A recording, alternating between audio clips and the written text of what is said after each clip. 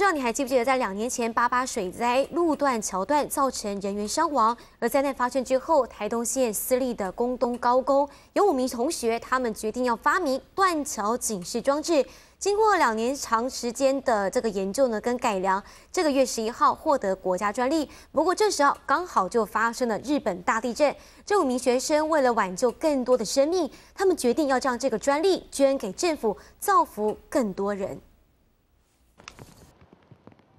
这几年来，环境剧烈变化引发的灾难一次比一次大，桥梁断裂，人车伤亡惨重。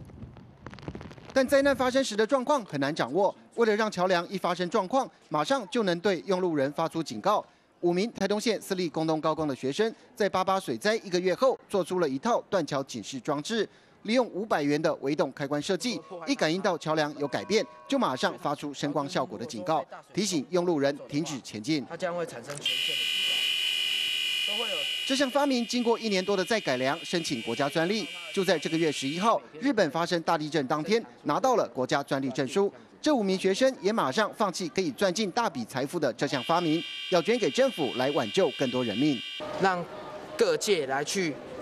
改善这项东西，或者是说让这项东西的功能发挥到最大的效用。到底真的要把它给捐出去，还是说你只是啊在这个过程当中意外的火花？那他们是觉得说把它捐出去，对他们自己来讲是比较好的。其实这个断桥警示装置的发明，交通部曾经向学校询问有关的细节。如今学生又主动要捐给政府，未来有希望装在国内的桥梁上面。而且这项发明五月份也应邀前往马来西亚参加国际科学展，将台湾的断桥警示装置发明推向国际，造福人类。记者张明哲台东报道。